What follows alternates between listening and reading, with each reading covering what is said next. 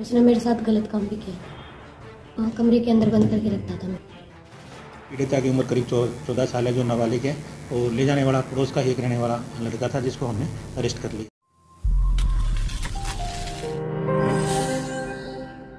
Palwal camp थाना क्षेत्र में अपने परिवार के साथ किराए पर रहने वाली 14 वर्षीय किशोरी को डरा धमका कर उसका अपहरण कर उसके साथ जबरन दुष्कर्म करने व उसे गर्भवती करने के बाद उससे भीख मंगवाने का मामला कैंप थाना पुलिस ने दर्ज कर आरोपी को गिरफ़्तार कर लिया। अगर पीड़िता किशोरी की माने तो उसको वहीं किराए पर रहने वाले एक व्यक्ति ने अपने साथ चलने के लिए कहा। लेकिन जब उसने मना किया तो आरोपी ने उसके परिवार को जान से मारने की धमकी दी।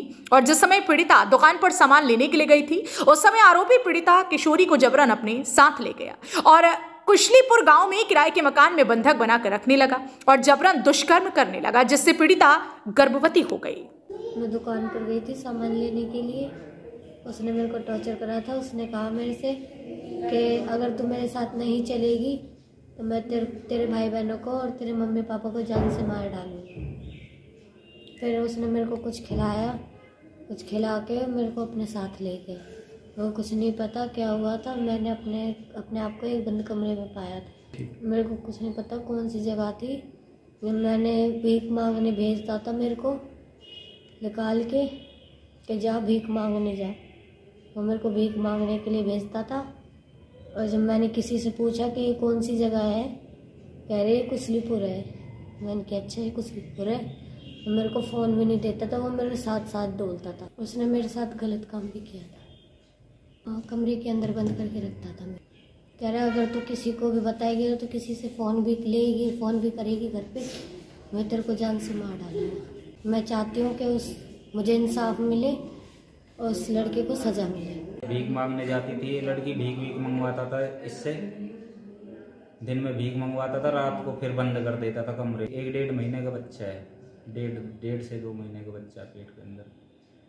सर, बच्चा तो हम चाहते नहीं है, बाकी लड़की को चाहते हैं जी हम तो। बता दें कि आरोपी हितेश पीड़िता के परिवार के पास ही किराए पर रहता था, जो कि 24 सितंबर 2023 को मौका पाकर पीड़िता किशोरी को डरा धमकाकर अपने साथ अज्ञात स्थान पर ले गया। पुलिस और परिवार के लोग लगातार पीड़िता किशोरी की तलाश करते रहे, लेकिन एक दिन उसके किसी जानकार व्यक्ति ने उसको जानकारी दी। कि पीड़िता किशोरी निकटवर्ती गाँव कुशलीपुर में देखी गई है, जिसके बाद पुलिस ने परिवार के साथ मिलकर आरोपी युवक व पीड़िता किशोरी को काबू कर लिया और पीड़िता का मेडिकल परीक्षण कराने के बाद उपचार के लिए पलवल के नागरिक अस्पताल में दाखिल कराया गया। पीड़िता की उम्र करीब चौदह साल है, जो नाबालिग है और ले जाने वाला, पड़ोस का एक रहने वाला लड़का था, जिसको हमने अरेस्ट कर लिया है।